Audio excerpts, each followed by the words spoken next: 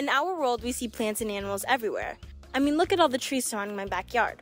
But let's take a deeper look in the organisms surrounding our environment. Now, this is the smartest brainless blob in the world.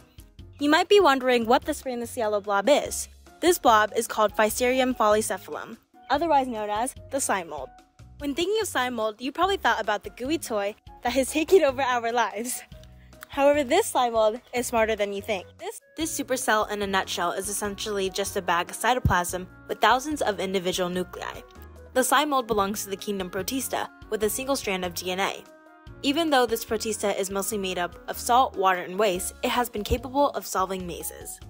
What makes this thing extraordinary is that when you put it in a maze, it is able to find the start and end using foods. The slime mold is attracted to the food and it produces chemicals to know which place has already searched. Its skill of producing chemicals allows it to find the more efficient routes in a maze. Humans and the slime mold both remember things. However, our body contains neurons, which are the stimulus of the human body. The slime mold doesn't have a single neuron and can remember better than us humans. Because of its way of remembering different paths, scientists have used this blob to make Tokyo's subway system more efficient and revamp the United Kingdom's highway system. Scientists are still trying to learn how these blobs stimulate their body. And instead of the question, are you smarter than the fifth grader, the real question should be, are you smarter than a slime mold?